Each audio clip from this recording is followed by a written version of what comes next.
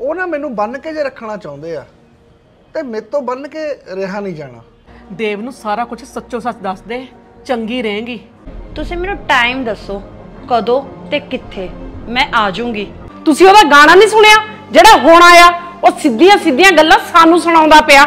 ਦੱਸ ਮੈਨੂੰ ਦੇਵ ਨੇ ਇਹੋ ਜਿਹਾ ਕੀ ਕੀਤਾ ਜਿਹੜਾ ਤੂੰ ਉਹਨੂੰ ਇੰਨੀ ਨਫ਼ਰਤ ਕਰਦੀ ਹੈ ਛੱਡ ਗਗਨ ਤੂੰ ਕਿਹੜੀਆਂ ਗੱਲਾਂ ਛੇੜ ਲੀਆਂ ਇਹਨਾਂ ਬਾਰੇ ਆਪਾਂ ਗੱਲ ਨਹੀਂ ਕਰਨੀ। ਸੱਚ ਮੈਂ ਤੈਨੂੰ ਮੈਡੀਸਨ ਕਿਹਾ ਸੀ। ਲੈ ਕੇ ਆਈ ਆ। ਮੈਡੀਸਨ ਮੇਰੇ ਕੋਲ ਹੀ ਆ। ਇਹਦੇ ਚ ਆ। ਪਰ ਦਊਂਗੀ ਮੈਂ ਤੈਨੂੰ ਤਾਂ ਜੇ ਤੂੰ ਮੈਨੂੰ ਸਾਰੀ ਗੱਲ ਦੱਸੇਂਗੀ ਉਹ ਵੀ ਬਿਨਾਂ ਰੋਏ। ਜੇ ਮੈਂ ਤੈਨੂੰ ਆਪਣੇ ਦਿਲ ਦਾ ਦਰਦ ਸੁਣਾਉਂਗੀ ਤਾਂ ਮੈਂ ਹੰਝੂਆਂ ਨੂੰ ਨਹੀਂ ਰੋਕ ਸਕਦੀ। ਚੱਲ ਕੋਈ ਨਾ ਰੋ ਲਾ ਰੋ ਕੇ ਹੀ ਸੁਣਾ। ਪਰ ਮੈਂ ਸੁਣਨਾ। ਕਿ ਤੂੰ ਦੇਵ ਨਾਲ ਇੰਨੀ ਨਫ਼ਰਤ ਕਿਉਂ ਕਰਦੀ ਹੈ ਤਾਂ ਸੁਣ ਫਿਰ। ਕੀ ਆ ਯਾਰ ਹੁਣ ਆਂਟੀ ਆ ਗਏ ਗੱਲ ਵੀ ਨਹੀਂ ਸੁਣਨ ਦਿੰਦੇ। ਆਵਾਜ਼ ਮਾਰ ਹੁਣ ਆਪਣੀ ਸੱਸ ਨੂੰ ਕਹਿ ਦੇ ਆ ਜਾਓ। ਆ ਜਾਓ। ਆ ਲੈ ਪੁੱਤ ਮੈਂ ਤੁਹਾਡੇ ਲਈ ਚਾਹ ਬਣਾ ਕੇ ਲੈ ਕੇ ਆਈ ਸੀ। ਚਾਹ ਪੀ ਲਓ। ਆ ਲੈ ਫੜ। ਇੱਕ ਕੱਪੇ ਚਾਹੀਦਾ ਸੀ ਮੈਂ ਨਹੀਂ ਪੀਣੀ। ਲੈ ਪੁੱਤ ਤੂੰ ਕਾਹਤੇ ਨਹੀਂ ਚਾਹ ਪੀਣੀ? ਮੈਂ ਤਾਂ ਇੰਨੇ ਪਿਆਰ ਨਾਲ ਬਣਾ ਕੇ ਲੈ ਕੇ ਆਈ ਹਾਂ। ਮੰਮੀ ਜੇ ਤੁਸੀਂ ਪਿਆਰ ਨਾਲ ਬਣਾ ਕੇ ਲੈ ਕੇ ਆਏ ਹੋ ਤਾਂ ਮੈਂ ਕੀ ਕਰਾਂ? ਮੇਰਾ ਮਨ ਨਹੀਂ ਕਰਦਾ। ਮੈਂ ਨਹੀਂ ਪੀਣੀ ਤਾਂ ਨਹੀਂ ਪੀਣੀ। ਲੈ ਜਾਓ ਆਪਣੀ ਚਾਹ। ਰੋਜੀ ਆ ਕੀ? ਆਂਟੀ ਇੰਨੇ ਪਿਆਰ ਨਾਲ ਚਾਹ ਲੈ ਕੇ ਆਏ ਨੇ। ਤੂੰ ਉਹਨਾਂ ਨੂੰ ਇੰਨੇ ਗੁੱਸੇ 'ਚ ਬੋਲੀ ਜਾਨੀ ਆ? ਹੁਣ ਤੈਨੂੰ ਵੀ ਗੁੱਸਾ ਲੱਗਦਾ? ਕਦੋਂ ਗੁੱਸਾ ਕੀਤਾ ਮੈਂ? ਕੋਈ ਗੁੱਸਾ ਨਹੀਂ ਕੀਤਾ ਮੈਂ। ਚੱਲ ਛੱਡ ਪੁੱਤ। ਇਹਨੂੰ ਤੂੰ ਕੁਛ ਨਾ ਕਹਿ। ਬਸ ਇਹਨੂੰ ਇੰਨਾ ਕੁ ਸਮਝਾ ਦੇ ਵੀ ਇਹ ਖਾ ਪੀ ਖੁੱਲ ਕੇ ਲਿਆ ਕਰੇ। ਕੀ ਗੱਲ ਆਂਟੀ ਜੀ? ਇਹ ਚੰਗੀ ਤਰ੍ਹਾਂ ਖਾਂਦੀ ਪਿੰਦੀ ਨਹੀਂ? ਕਿੱਥੇ ਪੁੱਤ? ਜਦੋਂ ਮੈਂ ਇਹਨੂੰ ਲੈ ਕੇ ਆਈ ਆ ਬਸ 2-4 ਦਿਨ ਠੀਕ ਰਹੀ ਆ। ਹੁਣ ਇਹਦਾ ਦਿਨੋ ਦਿਨ ਸੁਭਾਅ ਚਿੜਚਿੜਾ ਹੋਈ ਜਾਂਦਾ। ਮਾੜੀ ਮਾੜੀ ਗੱਲ ਤੇ ਗੁੱਸਾ ਕਰ ਲੈਂਦੀ ਆ। ਮੈਂ ਕੋਈ ਗੁੱਸਾ ਨਹੀਂ ਕਰਦੀ। ਕਦੋਂ ਗੁੱਸਾ ਕੀਤਾ ਮੈਂ ਤੁਹਾਨੂੰ? ਤੁਸੀਂ ਐਵੇਂ ਮੇਰੀ ਸਹੇਲੀ ਦੇ ਸਾਹਮਣੇ ਮੇਰੀ ਬੇਇੱਜ਼ਤੀ ਕਰੀ ਜਾਂਦੇ ਹੋ। ਆ ਦੇਖ ਲੈ ਪੁੱਤ ਹੁਣ ਵੀ ਗੁੱਸਾ ਕਰੀ ਜਾਂਦੀ ਆ। ਇਹਦਾ ਤਾਂ ਮਿੰਟਾਂ 'ਚ ਪਾਰਾ ਹਾਈ ਹੋ ਜਾਂਦਾ। ਕਿਤੇ ਬੀਪੀ ਨਾ ਇਹਦਾ ਵਧਣ ਲੱਗ ਜਾਵੇ। ਮੇਰਾ ਬੀਪੀ। ਤੁਸੀਂ ਹੁਣ ਮੇਰਾ ਬੀਪੀ ਵਧਾ ਕੇ ਹੀ ਹਟੋਗੇ। ਰੋਜੀ ਇੱਕ ਮਿੰਟ ਚੁੱਪ ਕਰ। ਆਂਟੀ ਜੀ ਤੁਸੀਂ ਫਿਕਰ ਨਾ ਕਰੋ। ਮੈਂ ਇਹਨੂੰ ਸਮਝਾ ਕੇ ਜਾਊਂਗੀ। ਠੀਕ ਆ ਪੁੱਤ। ਆ ਲੈ ਫੜ ਇਹਦੀ ਚਾਹ। ਹੁਣ ਤੇਰੀ ਜ਼ਿੰਮੇਵਾਰੀ ਆ ਤੈਂ ਇਹਨੂੰ ਚਾਹ ਪਿਉਣੀ ਆ। ਤੁਸੀਂ ਫਿਕਰ ਨਾ ਕਰੋ ਮੈਂ ਚਾਹ ਪਿਆ ਦੂੰਗੀ। ਠੀਕ ਆ ਪੁੱਤ। ਰੋਜੀ ਪੁੱਤ ਤੂੰ ਮੇਰੇ ਨਾਲ ਭਾਵੇਂ ਗੁੱਸੇ ਹੋ ਜਾ ਪਰ ਖਾਣ ਪੀਣ 'ਚ ਗੁੱਸਾ ਨਾ ਕਰੀ। ਚੰਗਾ ਪੁੱਤ ਮੈਂ ਚੱਲਦੀ ਹਾਂ। ਰੋਜੀ ਤੂੰ ਆਪਣੀ ਸੱਸ ਨੂੰ ਐਵੇਂ ਮਾੜਾ ਨਾ ਕਿਹਾ ਕਰ। ਦੇਖ ਕਿੰਨੀ ਚੰਗੀ ਹੈ ਵਿਚਾਰੀ। ਦੇਖ, ਆਪਣੇ ਦੋਨਾਂ ਲਈ ਚਾਹ ਬਣਾ ਕੇ ਲੈ ਕੇ ਆਈ ਹੈ। ਜੇ ਮੇਰੀ ਸੱਸ ਇੰਨੀ ਚੰਗੀ ਹੋਵੇ ਨਾ, ਮੈਂ ਤਾਂ ਉਹਦੇ ਪੈਰ ਧੋ ਧੋ ਪੀਵਾਂ। ਤੈਨੂੰ ਕੀ ਤਕਲੀਫ ਆ? ਤੇਰਾ ਕਿਹੜਾ ਹਜੇ ਵਿਆਹ ਹੋਇਆ? ਮਿਲ ਜੂਗੀ ਇਹ ਜੀ ਸੱਸ। ਬਥੇਰੀਆਂ ਫਿਰਦੀਆਂ ਨੇ। ਮੈਂ ਨਾ ਰੋਜ਼ ਇਹੀ ਕੁਛ ਦੇਖਦੀ ਆ। ਕਚਹਿਰੀਆਂ 'ਚ 100 ਕੇਸ ਆਉਂਦੇ ਨੇ। ਜਿਨ੍ਹਾਂ 'ਚੋਂ 80 ਇਦਾਂ ਦੇ ਹੁੰਦੇ ਨੇ, ਜਿਹਦੇ 'ਚ ਨੋਹ ਨੇ ਕਦੇ ਸੱਸ ਕੁੱਟਤੀ ਤੇ ਕਦੇ ਸੱਸ ਨੇ ਨੋਹ ਕੁੱਟਤੀ। ਤੂੰ ਕਿੱਥੇ ਕੁੱਟਣ ਕਟਾਉਣ ਤੇ ਚਲੀ ਗਈ? ਗੱਲ ਤਾਂ ਹੋ ਰਹੀ ਸੀ ਆਪਣੇ ਚ। ਤੈਨੂੰ ਮੇਰੀ ਗੱਲ ਦਾ ਗੁੱਸਾ ਲੱਗਿਆ ਨਾ? ਠੀਕ ਆ ਕੰਟਰੋਲ ਕਰੂੰਗੀ ਮੈਂ ਆਪਣੇ ਆਪ ਤੇ। ਰੋਜੀ ਕੰਟਰੋਲ ਤਾਂ ਤੈਨੂੰ ਕਰਨਾ ਪੈਣਾ। ਤੇਰਾ ਜਿਹੜਾ ਪ੍ਰੈਗਨੈਂਸੀ ਵਾਲਾ ਸੀਕ੍ਰੀਟ ਆ ਨਾ ਵੀ ਕਿਸੇ ਨੂੰ ਦੱਸਣਾ ਨਹੀਂ ਤੇਰਾ ਇਹ ਭਾਂਡਾ ਤਾਂ ਫੁੱਟਿਆ ਲੈ। ਐਂ ਕਿਵੇਂ ਫੁੱਟਿਆ ਲੈ? ਮੇਰੇ ਘਰਦਿਆਂ ਨੂੰ ਪਤਾ ਮੈਨੂੰ ਪਤਾ ਤੇ ਸਾਡੇ ਤੋਂ ਇਲਾਵਾ ਸਿਰਫ ਤੈਨੂੰ ਪਤਾ। ਐਂ ਕਿਵੇਂ ਇੱਥੇ ਕਿਸੇ ਨੂੰ ਪਤਾ ਲੱਗ ਜੂਗਾ? ਪਤਾ ਤਾਂ ਤੂੰ ਆਪੇ ਲਗਵਾ ਲੈਣਾ। ਆ ਦੇਖ ਲੈ ਹੁਣੇ ਆਂਟੀ ਜੀ ਕਹਿ ਕੇ ਗਏ ਨੇ ਵੀ ਤੂੰ ਗੱਲ-ਗੱਲ ਤੇ ਗੁੱਸੇ ਹੁੰਨੀ ਐ ਤੇ ਤੇਰਾ ਸੁਭਾਅ ਚਿੜਚਿੜਾ ਹੋਈ ਜਾਂਦਾ। ਆਂਟੀ ਜੀ ਨੂੰ ਇਹ ਗੱਲ ਸਮਝਣ ਨੂੰ ਟਾਈਮ ਨਹੀਂ ਲੱਗਣਾ ਕਿ ਤੂੰ ਮਾਂ ਬਣਨ ਵਾਲੀ ਐ ਹੈਰਾਨ ਨਾ ਹੋ ਆਪਣੇ ਆਪ ਤੇ ਕਾਬੂ ਰੱਖ। ਨਾਲੇ ਇਸ ਹਾਲਤ 'ਚ ਨਾ ਦਿਮਾਗ ਤੇ ਜ਼ਿਆਦਾ ਬੋਝ ਰੱਖਣਾ ਚੰਗਾ ਨਹੀਂ ਹੁੰਦਾ। ਗਗਨ ਮੇਰੇ ਸਿਰ ਤੇ ਕੋਈ ਬੋਝ ਨਹੀਂ ਹੈਗਾ। ਉਹੀ ਤੂੰ ਮੈਨੂੰ ਧੱਕੇ ਨਾਲ ਨਾ ਮਨਾਈ ਜਾ। ਮੈਂ ਤੈਨੂੰ ਧੱਕੇ ਨਾਲ ਨਹੀਂ ਮਨਾ ਰਹੀ। ਹੁਣ ਤੂੰ ਆਪ ਹੀ ਦੇਖ ਲੈ ਆ ਦੇਵ ਦੀ ਗੱਲ ਦਾ ਵੀ ਤਾਂ ਤੂੰ ਦਿਮਾਗ ਤੇ ਬੋਝ ਪਾਇਆ ਹੋਇਆ ਨਾ। ਪਹਿਲਾਂ ਤੂੰ ਮੈਨੂੰ ਉਹੀ ਗੱਲ ਦੱਸ ਦੇਵ ਨਾਲ ਤੇਰਾ ਕੀ ਰੌਲਾ? ਕਿਵੇਂ ਕਚੀਚੀਆਂ ਵੱਟਦੀ ਆ? ਆਹੀ ਕਚੀਚੀਆਂ ਤੇਰੀਆਂ ਮੈਂ ਕੱਢਣੀਆਂ ਨੇ। ਜੇ ਤੂੰ ਹੁਣ ਮੈਨੂੰ ਗੱਲ ਨਾ ਨਾ ਦੱਸੀ ਸੌ ਲੱਗੇ ਮੈਂ ਨਹੀਂ ਤੈਨੂੰ ਮਿਲਣ ਆਇਆ ਕਰਨਾ। ਕਿਉਂ ਗਗਨ? ਕਿਉਂ ਨਹੀਂ ਮਿਲਣ ਆਇਆ ਕਰਨਾ? ਬਹੁਤ ਜਿੱਦੀ ਆ ਤੂੰ। ਟਲਦੀ ਨਹੀਂ ਹੈਗੀ। ਹਾਂ ਨਹੀਂ ਟਲਦੀ ਮੈਂ। ਤੇ ਜਿੱਦੀ ਜਿੱਦੀ ਮੈਂ ਤੇਰੇ ਤੋਂ ਘੱਟ ਹੀ ਆ। ਤੂੰ ਹੁਣ ਮੁੱਦੇ ਤੇ ਆ। ਵੀ ਤੂੰ ਦੇਵ ਨੂੰ ਆਪਣਾ ਦੁਸ਼ਮਣ ਕਿਉਂ ਸਮਝਦੀ ਆ? ਦੁਸ਼ਮਣ? ਦੁਸ਼ਮਣ ਮੇਰਾ ਐਵੇਂ ਨਹੀਂ ਬਣ ਗਿਆ। ਕਦੇ ਉਹ ਮੇਰੀ ਜਾਨ ਹੁੰਦਾ ਸੀ ਮੇਰਾ ਪੁੱਤ ਹੁੰਦਾ ਸੀ।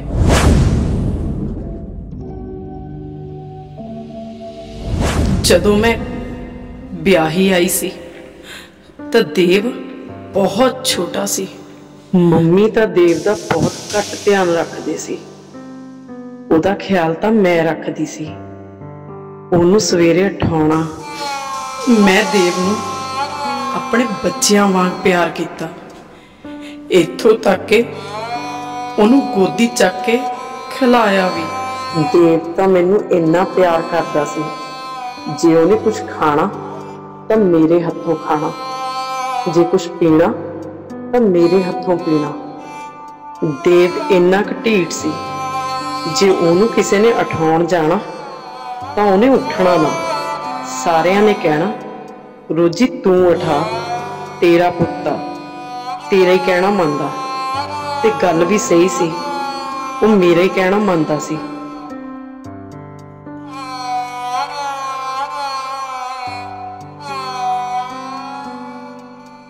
ਉਹਦਾ ਨੱਕ ਸਾਫ਼ ਕਰਨ ਤੋਂ ਲੈ ਕੇ ਉਹਨੂੰ ਸਕੂਲ ਤਿਆਰ ਕਰਨ ਤੱਕ ਸਾਰੇ ਉਹਦੇ ਕੰਮ ਮੈਂ ਹੀ ਕਰਦੀ ਸੀ।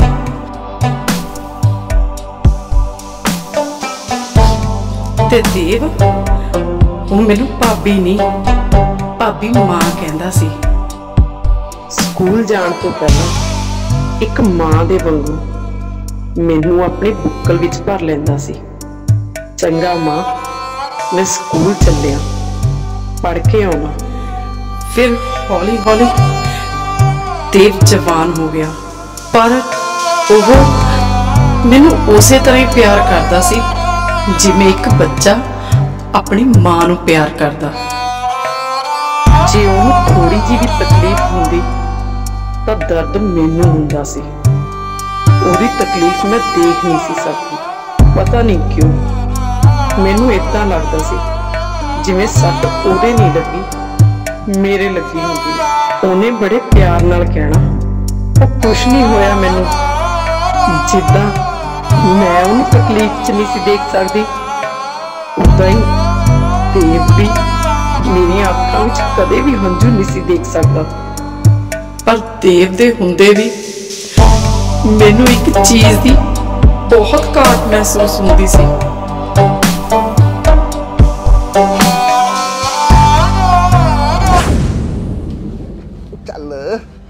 ਪੈਰ ਦੇਖ ਲੈ ਕਿਵੇਂ ਢੋ ਦੇ ਉੱਤੇ ਚੜਾਏ ਨੇ। ਉਹ ਭਾਬੀ ਤੇਰੀ ਸਾਫ਼ ਕਰਦੀ ਰਹਿੰਦੀ ਐ ਤੇ ਤੂੰ ਗੰਦ ਪਾਉਣ ਨਹੀਂ ਹਟਦਾ। ਚੁੱਪ ਕਰਕੇ ਨਾ ਆਪਣੇ ਕਮਰੇ 'ਚ ਬਹਿ ਜਾ ਹੁਣ ਤੂੰ ਨਿਆਣਾ ਨਹੀਂ ਰਿਹਾ। ਭਾਵੇਂ ਤੈਨੂੰ ਅੱਜ ਵਿਆਹ ਦੀਏ ਮੇਰਾ ਜਦੋਂ ਵਿਆਹ ਹੋ ਗਿਆ ਨਾ ਉਦੋਂ ਮੈਂ ਆਪਣੇ ਆਪ ਅੱਡ ਕਮਰੇ 'ਚ ਰਹਿਣ ਲੱਗ ਜਾਊਂਗਾ ਭਾਬੀ ਕੁਝ ਕਹਿੰਦੀ ਨਹੀਂ ਕਿ ਤੁਸੀਂ ਬੋਲੀ ਜਾਇਆ ਕਰੋ। ਉਹੀ ਚੰਗਾ ਭਲਾ ਗੇਮ ਖੇਡਦਾ ਸੀਗਾ ਮੈਨੂੰ ਗੇਮ ਖੇਡਣ ਤੋਂ ਅੱਛਾ। ਇੱਥੇ ਹੀ ਗੇਮਾਂ ਖੇਡੀ ਜਾਈ ਉਹ ਕੰਮ ਵੱਲ ਵੀ ਧਿਆਨ ਦੇ ਲੈ ਫੈਕਟਰੀ ਕਿਹੜਾ ਲਾਇਆ?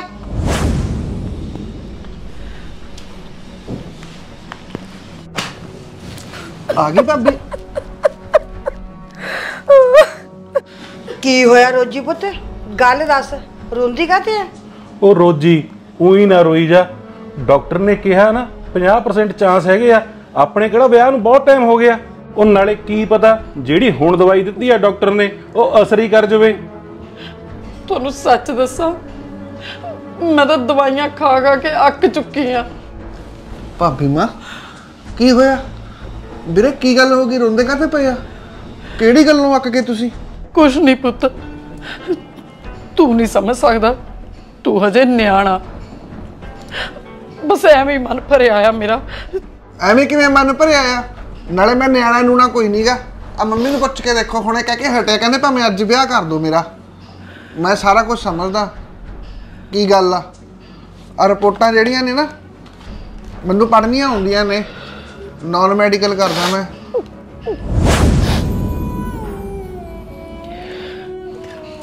ਛੱਡ ਦੇਵ। ਤੈਨੂੰ ਕੀ ਲੱਭ ਜੂ ਇਸ ਚ?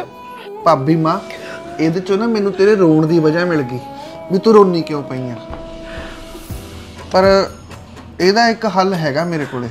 ਉਹ ਦੇਵ ਤੂੰ ਛੱਡ ਬਾਹਲੀ ਸਲਾਹ ਨਾ ਦਿਆ ਕਰ। ਤੇਰੀ ਜਵਾਕਾਂ ਵਾਲੀ ਸਲਾਹ ਹੁੰਦੀ ਆ। ਵੀਰੇ ਜਵਾਕਾਂ ਵਾਲੀ ਸਲਾਹ ਨੂੰ ਕੀ ਆ? ਕਈ ਵਾਰ ਜਵਾਕ ਵੀ ਚੱਜ ਦੀ ਸਲਾਹ ਦੇ ਦਿੰਦੇ ਹੁੰਦੇ ਆ। ਨਾਲੇ ਭਾਬੀ ਮਾਂ ਰੋਂਦੀ ਪਈ ਆ। ਮੈਂ ਰੋਂਦੀ ਨੂੰ ਨਹੀਂ ਦੇਖ ਸਕਦਾ ਭਾਬੀ ਨੂੰ। ਭਾਬੀ ਮਾਂ ਮੇਰੀ ਗੱਲ ਸੁਣ ਮੈਂ ਤੇਰਾ ਪੁੱਤ ਨਹੀਂ ਹੈਗਾ। ਮੈਂ ਵੀ ਤੇਰਾ ਪੁੱਤ ਆ ਨਾ ਫਿਰ ਤੂੰ ਰੋ ਨਾ। ਨਹੀਂ ਰੋਂਦੀ। ਦੇਵ ਤੂੰ ਮੇਰਾ ਪੁੱਤ ਵੀ ਆ। ਮੈਂ ਤੈਨੂੰ ਆਪਣੇ ਬੱਚੇ ਵਾਂਗੂ ਪਾਲਿਆ। ਪਰ ਕੀ ਪਰ ਭਾਬੀ ਮਾਂ? ਹੈ? ਉਹ ਬੱਚਾ ਮੈਂ। ਮੰਨਿਆ। ਹੁਣ ਮੈਂ ਵੱਡਾ ਹੋ ਗਿਆ। ਬੱਚੇ ਛੋਟੇ ਚੰਗੇ ਲੱਗਦੇ ਆ।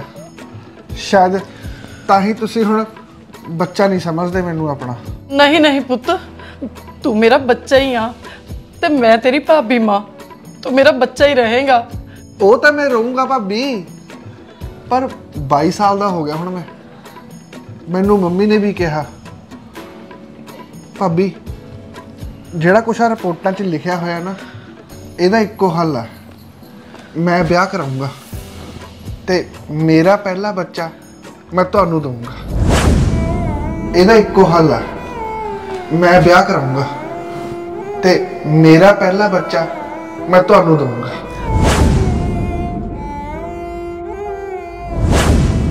ਆ ਕੀ ਕਹਿਤਾ ਪੁੱਤ? ਜੋਸ਼ ਵਿੱਚ ਆ ਕੇ ਵਾਦਾ ਤਾਂ ਤੂੰ ਕਰਤਾ, ਪਰ ਪਗਾਉਣਾ ਬਹੁਤ ਔਖਾ। ਠੀਕ ਹੈ ਭਾਬੀ? ਮੇਰਾ ਤੁਹਾਡੇ ਨਾਲ ਵਾਅਦਾ ਹੈ।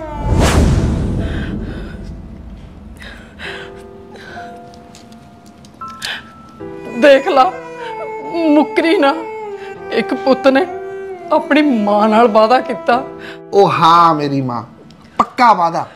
ਮੇਰੀ ਪਹਿਲੀ ਸੰਤਾਨ ਮੇਰੀ ਭਾਬੀ ਦੀ ਝੋਲੀ ਚ ਹੋਊਗੀ।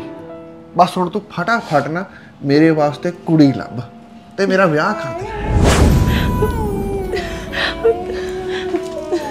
ਦੇਖਿਆ ਸੀ? ਸੁਣਿਆ ਤੁਸੀਂ? ਦੇਵ ਕੀ ਕਹਿੰਦਾ? ਇਹ ਇਹ ਆਪਣਾ ਬੱਚਾ ਮੈਨੂੰ ਦਊਗਾ ਤੇਰੇ ਵਿਆਹ ਦੀ ਤਿਆਰੀ ਮੈਂ ਕਰੂੰਗੀ। ਮੈਂ ਲੱਭੂੰਗੀ ਤੇਰੇ ਲਈ ਕੁੜੀ। ਹੁਣ ਕੀ? ਅੱਜ ਤੋਂ ਹੀ, ਅੱਜ ਤੋਂ ਮੈਂ ਕੁੜੀ ਦੇਖਣਾ ਸ਼ੁਰੂ ਕਰਦੀ ਹਾਂ। ਹੇ ਰੱਬਾ, ਜੇ ਦੇਵ ਨੇ ਆਪਣੇ ਮੂੰਹੋਂ ਇੰਨੀ ਗੱਲ ਕਹੀ ਹੈ, ਉਹਨੂੰ ਹਿੰਮਤ ਦੇ ਇਹ ਪੂਰੀ ਵੀ ਕਰ ਦੇਵੇ। ਕਿਤੇ ਮੇਰੀ ਨੌ ਦੀਆਂ ਖੁਸ਼ੀਆਂ ਨੂੰ ਨਜ਼ਰ ਨਾ ਲੱਗ ਜੇ।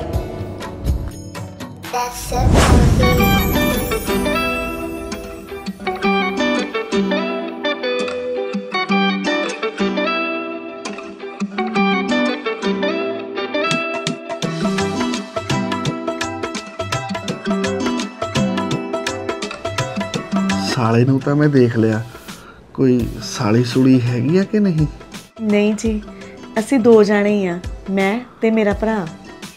ਅੱਛਾ।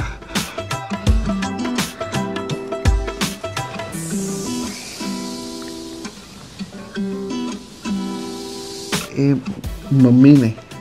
ਹਾਂਜੀ ਜਿਸ ਦਿਨ ਆਪਣੀ ਦੇਖ ਦਿਖਾਈ ਸੀ ਉਦੋਂ ਹੀ ਮੈਨੂੰ ਪਤਾ ਲੱਗ ਗਿਆ ਸੀ। ਅੱਛਾ। ਵੀਰੇ ਭਾਬੀ ਮਾਂ? ਇਹ ਵੀ ਮੇਰੀ ਮਾਂ ਆ। ਭਾਬੀ ਮਾਂ। ਤੁਸੀਂ ਇਹ ਸਮਝੋ ਕਿ ਮੇਰੀਆਂ ਦੋ ਮਾਵਾਂ ਨੇ। ਜਠਾਣੀ ਨਹੀਂ ਸਮਝਣਾ ਮਾਂ ਹੀ ਸਮਝਣਾ ਇਹਨਾਂ ਨੂੰ।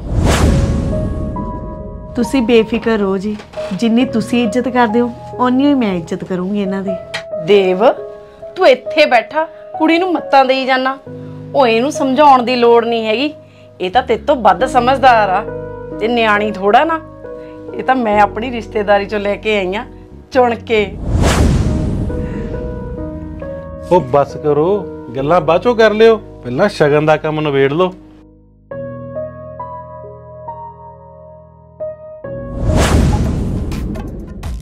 ਭਾਬੀ ਮਾਂ ਕਿੰਨੀ ਖੁਸ਼ ਹੈ ਹਮੇਸ਼ਾ ਐਂ ਹੀ ਖੁਸ਼ ਰਹੇ। ਭਾਬੀ ਮਾਂ ਦੀਆਂ ਖੁਸ਼ੀਆਂ ਨੂੰ ਕਦੇ ਵੀ ਨਜ਼ਰ ਨਾ ਲੱਗੇ ਕਦੇ ਹੂੰ ਕਰਕੇ ਕਦੇ ਹਾਂ ਕਰਕੇ ਜਿਹੜਾ ਦੇ ਦੇ ਨੀ ਮੁਟਿਆਰੇ ਲੰਬੀ ਬਾਹ ਕਰਕੇ, ਜਿਹੜਾ ਦੇ ਦੇ ਨੀ ਮੁਟਿਆਰੇ ਲੰਬੀ ਬਾਹ ਕਰਕੇ। ਹੂਰੀ ਹੂਰੀ ਹੂਰੀ ਨੀ ਇਹ ਦਿਨ ਸ਼ਗਨਾਂ ਦੇ, ਨੱਚ ਨੱਚ ਹੋ ਜਾ ਦੂਰੀ ਨੀ ਇਹ ਦਿਨ ਸ਼ਗਨਾਂ ਦੇ, ਨੱਚ ਨੱਚ ਹੋ ਜਾ ਦੂਰੀ ਨੀ ਇਹ ਦਿਨ ਸ਼ਗਨਾਂ ਦੇ। ਚੰਨ ਵਰਗੀ ਪਰਜਾਈ ਮੇਰਾ ਵੀਰ ਵਿਆਹ ਕੇ ਲਿਆਇਆ।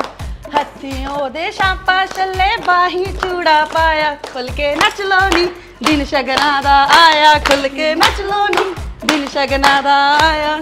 ਉਹ ਬਾਰੀ ਬਰਸੀ ਖੱਟਣ ਗਿਆ ਸੀ ਖੱਟ ਕੇ ਲਿਆਂਦੀ ਰਿਆਈ। ਉਹ ਭੰਗੜਾ ਤਾਂ ਸੱਜਦਾ ਨੱਚਣ ਮੁੰਡੇ ਦੇ ਭਾਈ ਭੰਗੜਾ ਤਾਂ ਸੱਜਦਾ। ਨੱਚਣ ਮੁੰਡੇ ਆਏ ਨੱਚੋ।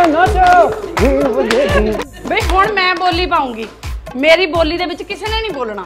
ਮੇਰਾ ਪੈਂਦਾ ਇਹਦੇ ਨਾਲ ਦੂਰਾ ਰਿਸ਼ਤਾ। ਇਹ ਮੇਰੀ ਭੈਣ ਵੀ ਲੱਗਦੀ ਆ ਤੇ ਮੇਰੀ ਦਰਾਣੀ ਵੀ ਲੱਗਦੀ ਆ। ਮਦਾਣੀਆਂ ਮਦਾਣੀਆਂ ਮਦਾਣੀਆਂ ਨੀ ਪੇਕੇ ਦੋਵੇਂ ਭੈਣਾਂ ਨੱਚੀਏ ਸੌਰੇ ਨੱਚੀਏ, ਦਰਾਣੀਆਂ, ਜਠਾਣੀਆਂ, ਪੇਕੇ ਦੋਵੇਂ ਭੈਣਾਂ ਨੱਚੀਏ। ਚਲੋ ਤੁਸੀਂ ਵੀ। ਪੇਕੇ ਦੋਵੇਂ ਭੈਣਾਂ ਨੱਚੀ ਸੋਰੇ ਨੱਚੀਏ, ਦਰਾਣੀਆਂ, ਜਠਾਣੀਆਂ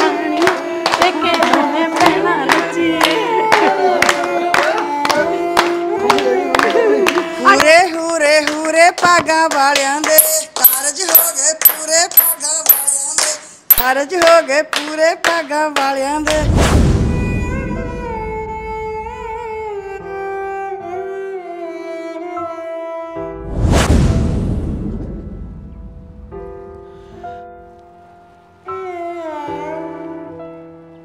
ਰੋਜੀ, ਜੇ ਤੁਸੀਂ ਸਾਰੇ ਖੁਸ਼ ਸੀ, ਤੇ ਉਹ ਤੈਨੂੰ ਆਪਣੀ ਮਾਂ ਮੰਨਦਾ ਸੀ। ਫਿਰ ਐਦਾਂ ਦੀ ਕੀ ਗੱਲ ਹੋ ਗਈ ਵੀ ਤੁਸੀਂ ਦੂਰ ਹੋ ਗਏ? ਉਹ ਕਹਾਵਤ ਤਾਂ ਤੂੰ ਸੁਣੀ ਹੋਣੀ ਆ। ਕਹਿੰਦੇ ਨੇ ਨਾ ਕਿ ਨੋਟ ਤੜਾਇਆ ਤੇ ਗਿਆ ਮੁੰਡਾ ਵਿਆਹਿਆ ਤੇ ਗਿਆ। ਮੇਰੇ ਨਾਲ ਵੀ ਕੁਝ ਇਦਾਂ ਦਾ ਹੀ ਹੋਇਆ। ਚਾਹੇ ਉਹ ਕਹਿਣ ਨੂੰ ਮੇਰਾ ਪੁੱਤ ਬਣਿਆ ਹੋਇਆ ਸੀ। ਪਰ ਉਹਨੇ ਮੇਰੇ ਨਾਲ ਸ਼ਰੀਕਾਂ ਵਾਲੀ ਕੀਤੀ। ਰੋਜੀ ਤੂੰ ਮੈਨੂੰ ਕਹਾਣੀ ਸੁਣਾਈ ਜਾਨੀ ਆ ਵੀ ਉਹ ਤੇਰਾ ਪੁੱਤ ਬਣਿਆ ਸੀ ਤੇ ਤੇਰਾ ਉਹਨਾਂ ਇੰਨਾ ਪਿਆਰ ਸੀ। ਉਹ ਤਾਂ ਮੈਨੂੰ ਪਤਾ ਲੱਗ ਗਿਆ। ਤੇ ਤੇਰੀ ਉਹਨਾਂ ਵਿਗੜੀ ਕਿਉਂ? ਮੈਨੂੰ ਇਹ ਦੱਸ, ਹੱਲ ਤਾਂ ਉਸ ਗੱਲ ਦੇ ਵਿੱਚ ਆ। ਜਿਸ ਗੱਲੋਂ ਸਾਡੀ ਵਿਗੜੀ ਆ ਨਾ, ਉਹਦਾ ਹੱਲ ਤੂੰ ਤਾਂ ਕੀ? ਕੋਈ ਵੀ ਨਹੀਂ ਕੱਢ ਸਕਦਾ।